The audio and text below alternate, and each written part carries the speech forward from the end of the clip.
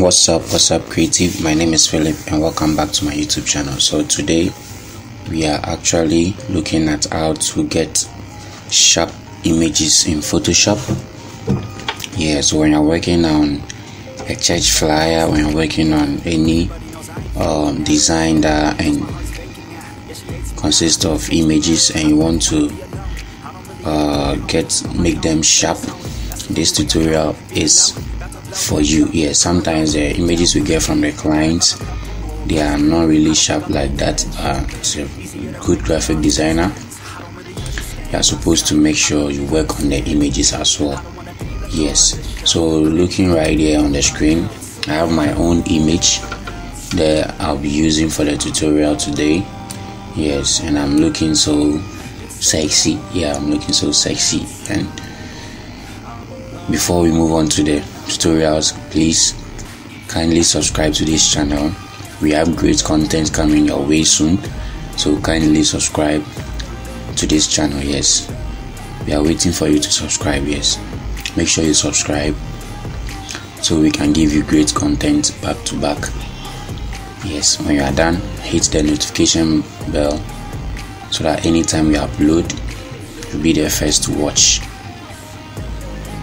yes thank you. All right so let's get right into the tutorial. So i have this image. Now this one i have not actually done anything on them. It's just one image that i have duplicated like that. So i'm going to edit the one on the right side. Yes the one on the right side. Um, I mean this one. Let me turn it off. So i'm going to sorry.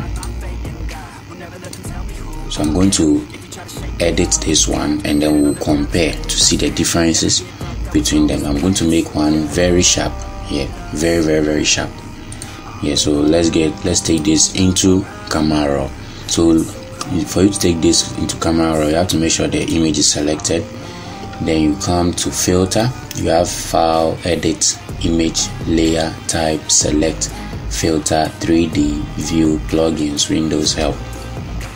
So you choose filter you choose filter then you come to camera raw filter. Here. Or you can hit shift control a. Yes. Shift control a. Now let me increase uh, no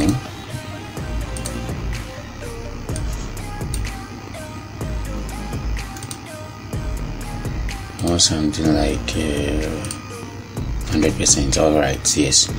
So this is what you're going to do. Now we have when you come to the layers the edits layers we have temperature we have things now temperature when you don't have to mess with this thing if you are just trying to get sharp images yeah you don't have to mess with them. You just have to leave them the way they are.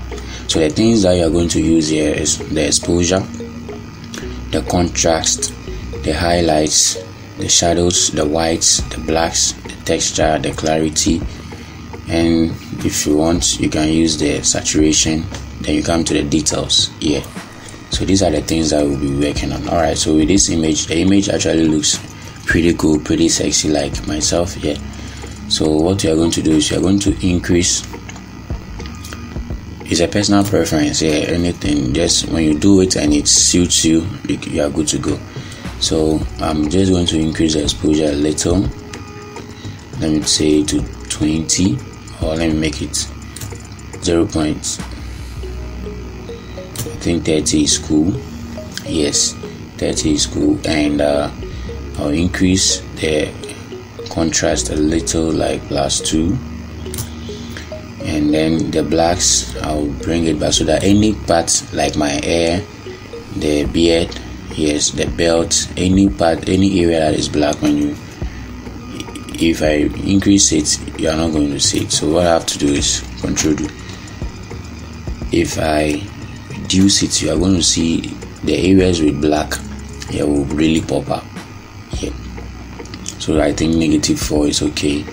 Yes and now we are going to work with the texture. So the texture you can increase it to let's say plus 50 or plus 60 yes to any you have a preference? Yes so when you're done you can also uh, do some just now if you don't have to increase the clarity that much else it will make sure the image dark. Yes so let me do it for you and see. Now you see how the image becomes dark.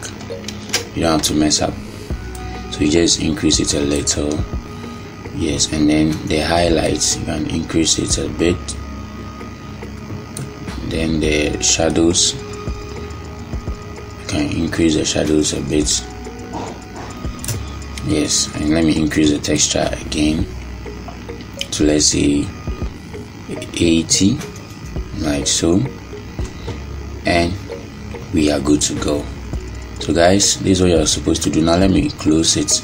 Let me choose hit ok so that you can compare and see the differences in the two images. All right so guys look at this.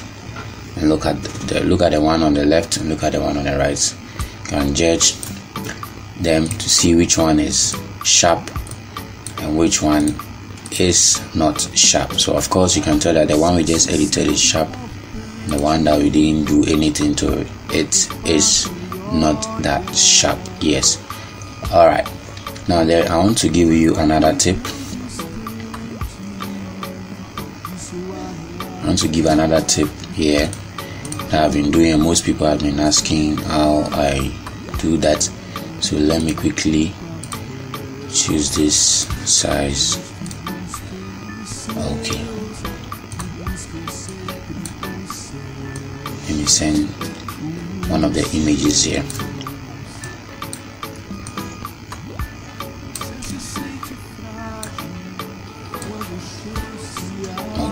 so I have this image right here. Now there's this effect um, camera presets that the intense dramatic portrait here. I have actually uploaded this presets in one of my videos. Kindly check it out. Yeah. So what you are going to do is if you want to apply this intense dramatic portrait effect what you are supposed to do is that you have to duplicate the image. So control J. Yes and then you choose the first one. Yes on the property layer. Choose the first one.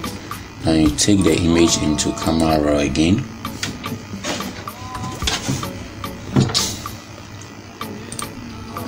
Like so. Now you the preset is already here so I can just load it.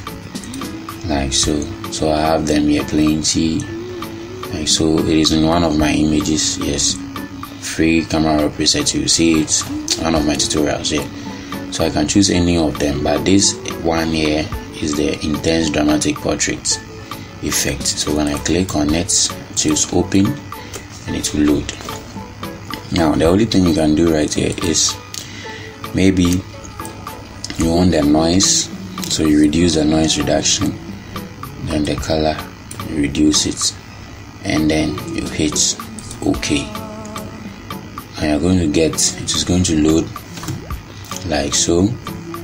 Yeah so if you don't want it that much what you're supposed to do is you can select that image and reduce the opacity like so